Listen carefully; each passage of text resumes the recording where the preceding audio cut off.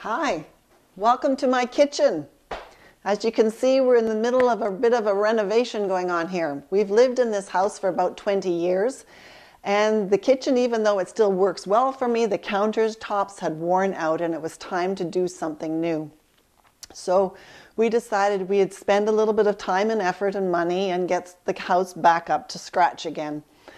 And the kitchen is such an important, integral part of my day. Everything in my day begins and ends in the kitchen. So I'm finding this really disconcerting and disruptive to my life. My kitchen is spread over the entire house. I've got stuff in every room, and I'm trying to keep it sorted out so that when I need to find something, I know which room to go looking for. Last night, I um, began the process of clearing off all the counters and emptying a few drawers and, and things so that I everything I thought would need to be moved so that the guys when they arrived today would be able to have access to to it. And so they came today and as you can see all my countertops are gone and it's it's quite novel actually because I have access to my dishes in the new in a new way. My Tupperware is there. The sink is a little bit awkward though because I have to get everything down a little pipe about that big around. So I'm not sure we'll be doing dishes there today. But um, as they were working on it, it was really noisy, really loud, lots of hammers and chisels and drills. And then suddenly they began shouting for me, Hey, can you come and empty this? Can you come and move that? And suddenly I was having to go into cupboards that I didn't think were going to be opened and be and have to remove stuff and find another place to take it and hide it and and things that I thought were going to be nice and quietly left alone are suddenly being totally open and revealed to who knows these guys were. Sometimes we don't realize that personal renovations are just as important as household renovations. We figure we recognize that a house looks worn out, looks tired, looks like it needs updating. Where we look at our personal lives and we say, well, it's not broken, it's still working just fine for me. Let's not touch it. Don't open those doors. Don't go anywhere beneath the surface because it works just fine for me and I'm managing just okay.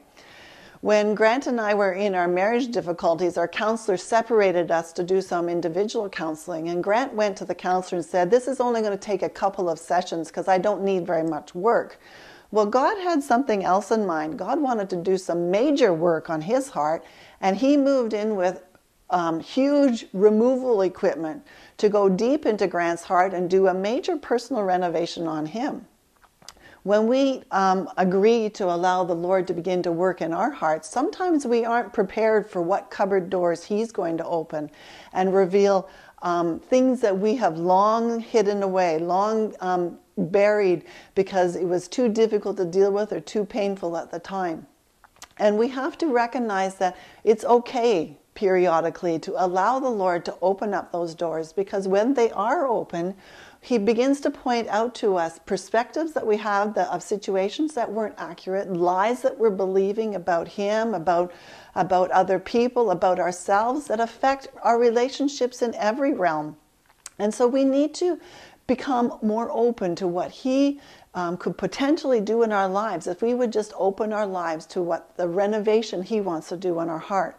Because when he changes the way we look at things and changes the lies that we've been believing, it um, improves our life beyond measure.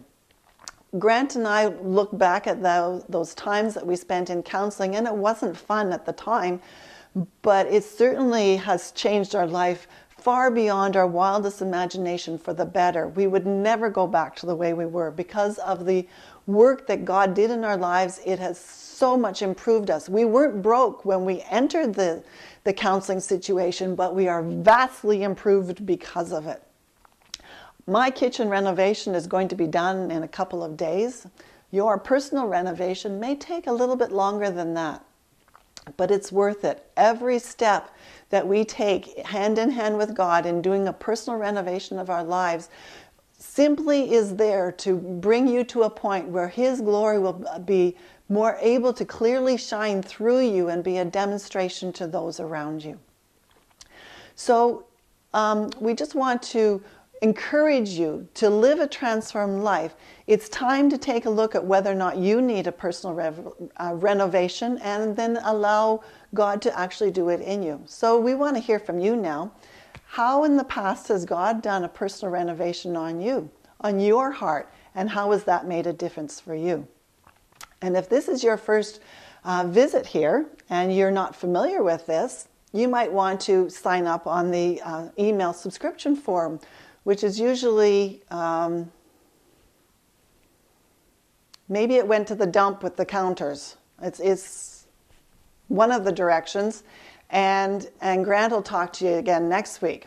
Also, a few weeks down the road, we'll post a picture in the newsletter of the finished product of what my kitchen is hopefully going to look like in a few weeks when we get the backsplash finally back on. So we'll talk to you later.